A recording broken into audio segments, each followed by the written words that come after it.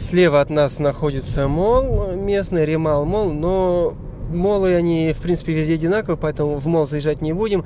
Поехали дальше. Смотрите, солнце уже склоняется к закату, и нам надо успеть на самую главную достопримечательность Джабель Хафид. Посмотрите, справа от нас совершенно потрясающие горы, прям так красиво они стоят, так грандиозно все выглядит. Но это не то, куда мы едем. Нас интересует вон та гора вдали, ее слегка видно, именно туда мы и направляемся. И еще раз взгляните на горы, которые справа от нас. Похоже, да, здесь как будто они используются как какой-то карьер, может быть, песчаный, может, что-то еще добывают. Очень много грузовиков здесь ездят, самосвалы, и здесь находится цементный завод. И, наконец-то, мы подъезжаем с вами к Джибила Хафид. Запутаться здесь невозможно, заблудиться не получится, везде указатели. Ну и саму гору, естественно, видно издалека, поэтому ехать можно без навигатора. Посмотрите, в каком потрясающем месте мы оказались. Здесь горы, здесь зоны для барбекю, парк, там раздевалки, душевые туалеты. И вот посмотрите туда, там вот в том здании находятся горячие источники, где можно покупаться. Там должно быть два зала для мужчин, два зала для женщин. Давайте зайдем, посмотрим, попробуем искупаться. Здесь оказалось закрыто, тут идет ремонт. Ближайшие два дня э, сюда не будут пускать посетителей. И сказали нам проехаться чуть выше, в следующий павильон. Там тоже есть э, для купания горячие источники. Часы работы сегодня до пол восьмого. Мы пока сюда заходить не будем. Э, нам нужно успеть подняться на гору до заката. Э, то есть мы сейчас э, в первую очередь заедем на гору, а уже потом, если успеем, э, вернемся сюда, чтобы искупаться. Мы начинаем с вами восхождение на гору по серпантинной дороге. Ограничение скорости 40 км в час. Будьте осторожны. Дорога очень извилистая и очень крутые повороты. Лучше не спешите. Не доезжая горы, видите знак Emergency Parking. Не проезжайте мимо, обязательно сверните направо на этом знаке и сейчас вы увидите, что здесь будет. Вот такой вот шикарнейший вид открывается с emergency паркинга. И здесь видно русло. Похоже, здесь протекала горная река. Как видите, эта дорога довольно опасная. Отбойники исчирканы все черным. И даже вот мы видим одна машина, грузовик какой-то слетел и валяется. Посмотрите на панель приборов. Мы едем со скоростью всего 40 км в час, а расход бензина довольно высокий, порядка 20 литров на 100 километров. Поэтому не езжайте на эту гору с пустым баком. Мы остановились еще на одном emergency паркинге, чтобы полюбоваться видом. К сожалению, тут вот э, мусор люди насорили, э, поэтому вы не берите плохой пример. Э, а подавать хороший пример, никогда здесь не сорите, убирайте за собой. Смотрите, какой отличный вид открывается на дорогу. Вот по этой дороге мы с вами поднимались, э, какая она извилистая, петляющая. Прямо как змея среди гор. И вот еще один emergency паркинг. Опять мы остановились, вышли. А, смотрите, там вот вдалеке мы его проехали, может мы потом вернемся. Это Меркью отель, он находится прямо здесь на горе. Это тоже про этот отель много интересной информации в интернете, можете сами найти, прочитать. И отсюда открывается отличный вид вдаль, прямо видно очень хорошо. Кстати, нам сегодня очень повезло, что воздух чистый, прозрачный, очень хорошо видно вдаль. Прямо идеальная обзорность отсюда. И словами, конечно, не передать это все. Посмотрите, мы догоняем очень отважного велосипедиста. Он на эту гору едет один на велосипеде. А, как у него хватило мужества и храбрости, я удивляюсь. Если вы такой же отважный, тоже можете взять велосипед с собой и попробовать подняться на велосипеде, а не на машине. Длина дороги, э, по которой мы поднимаемся на гору Джабел Хафид, составляет 11,7 километров, и она входит в десятку э, самых э, интересных дорог в мире. Мы доехали на самую высокую точку. Посмотрите, как красиво смотрятся эти горы. Прямо вот э, на сколах такой красивый цвет, прямо такой ярко-красно-коричневый, как терракотовый, что ли. Здесь растительность. Э, э, и тут, похоже, кто-то живет или какой-то объект здесь. Ну, вот видите, здесь забор и там какое-то здание. На нем тарелки спутниковые. Мы так и не поняли, что это такое. Но там висит табличка, что это private property. Значит, это чья-то частная собственность. А скорее всего, это чей-то, ну, такой горный дворец, наверное, какого-то из шейхов. Я не знаю. Если вы знаете, напишите в комментариях, что это такое. И смотрите, нам осталось последние буквально несколько 20 метров подняться по этой лестнице, и мы попадем с вами на самую-самую высокую точку. Поднявшись на лестницу, я расстроился. Оказывается, мы с вами не на самой высокой точке. Самая высокая точка находится там, чуть дальше. Я не знаю, сможем мы с вами туда добраться или не сможем. Но давайте пока пройдемся здесь. Э, тут э, смотровая площадка. К сожалению, она не обустроена. Тут э, под ногами камни, довольно острые. Всего лишь одна скамеечка, какой-то сгоревший мангал.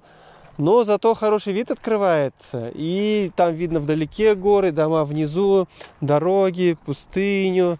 Кто-то там вышел наружу, начал писать на камнях. Но, ребята, я вам скажу, не надо этого делать, потому что тут действительно очень опасно. Гора Джебел-Хафит э, богата останками морскими, вот всякие ракушки, планктоны. Э, видимо, здесь когда-то было море, и все это поднялось, и теперь это все на возвышенности. Посмотрите, какой открывается тут шикарный, прекраснейший вид. Просто это, это просто потрясающе, словами не описать. У подножия вершины есть кафетерий, тут кафешка, большая, хорошая парковка, обустроено здесь все, скамейки, э, значит, зонтики, мусорные баки.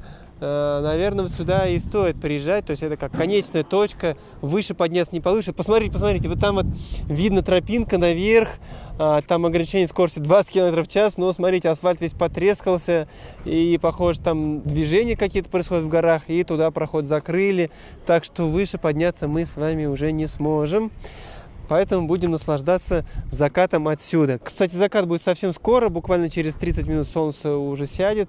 Поэтому нам повезло, что мы приехали именно сюда, именно в это время. Возле кафе есть игровые автоматы для детей.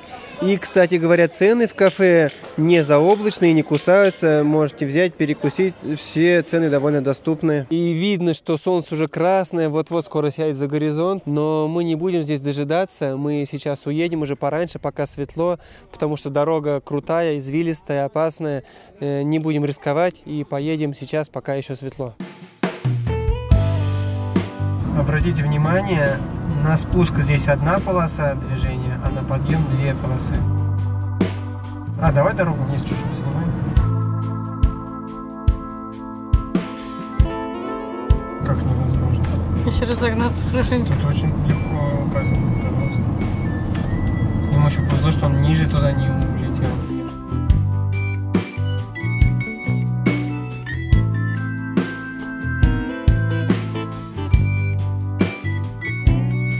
улетел.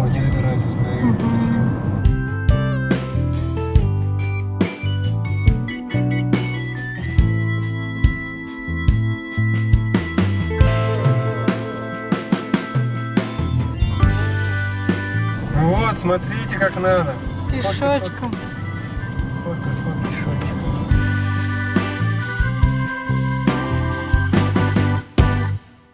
Спустившись с горы, мы сразу же отправились в эти горячие источники, которые находятся в Грин Мубазар. Мы заезжали сюда перед тем, как подниматься на гору. И, кстати, посмотрите, гора, она на самом деле освещается, там столбы освещения. Очень красиво смотрится издалека э, ночью. И, кстати, ехать там безопасно. То есть, если вы хотите на закат понаблюдать, пожалуйста, дожидайтесь до конца, пока солнце не сядет, дождитесь, потом можете спуститься сюда. И сюда на источники вы тоже, в принципе, успеваете. А, тут много времени вам не надо, чтобы здесь купаться. Температура здесь горячая, 40-41 градус. Это значительно выше, чем температура вашего тела. И снимать там внутри нельзя. А, поэтому вам просто быстренько расскажу. Ну, на самом деле, это место такое на любителя, потому что я вот вообще, например, горячую ванну не люблю, очень плохо переношу. Я 5 минут купался, 10 минут выходил, лежал просто на полу, охлаждался. И примерно мои купания где-то э, чуть меньше часа заняли. А, ну, на самом деле это место будет полезно. Ну, там вот понимаете, просто бассейн обычно, там 25 на 5 метров примерно размерами.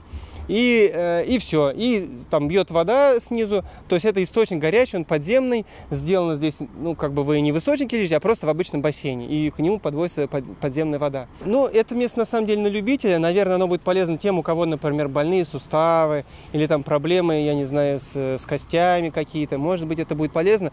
Но, опять же, э, я вам рекомендую настоятельно перед тем, как сюда ехать, обязательно проконсультируйтесь с врачом, может быть, вам оно будет и вредно. Например, я сплавал от бортика до бортика, ну, вот вдоль бассейна 3-4 раза, и у меня действительно сердце заколотилось, то есть нагрузка на сердце довольно высокая, если там заниматься физической активностью прямо в этой воде, то есть, наверное, просто можно побарахтаться, потом выйти на, на, ну, как бы наружу и посидеть там на полу, полежать. Опять же, оборудовано здесь как-то все не очень внутри, то есть, по-моему, вот по моему мнению, что не хватает? Очень не хватает массажного кабинета это было вообще бы шикарно, если вы там искупались 5-10 минут, потом вышли, легли обомлевшим, разомлевшим телом на массажный стол и вас массируют, это было бы просто шикарно, отлично.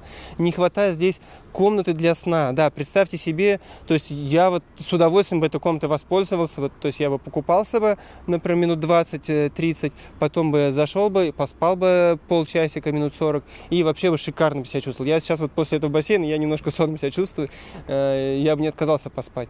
И, наверное, наверное, не хватает еще там внутри каких-то тренажеров, таких простеньких, именно тренажеры на растяжку.